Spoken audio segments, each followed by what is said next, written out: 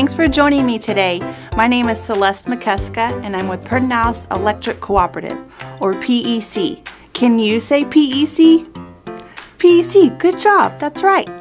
PEC is an electric cooperative that provides electric service to your homes, schools, and businesses in your community.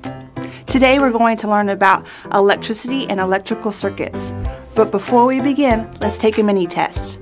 What is electricity? A. A city named Electric. B. A transfer of electrons. If you said B, transfer of electrons, you're right. Okay, question two. What is a circuit? A. The pathway through which electricity flows.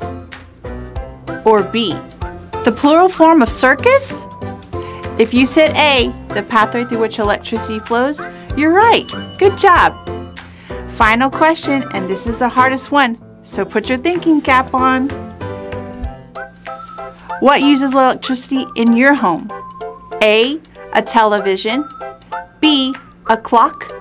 C. An air conditioner. Or D. All of the above. If you said D, all of the above, you're right. You're an energy expert.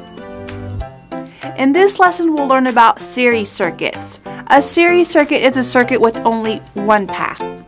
For a circuit to be complete, we must have a power source, or something that provides power, a pathway, something for the electricity to travel along, and a load, something that uses the electricity.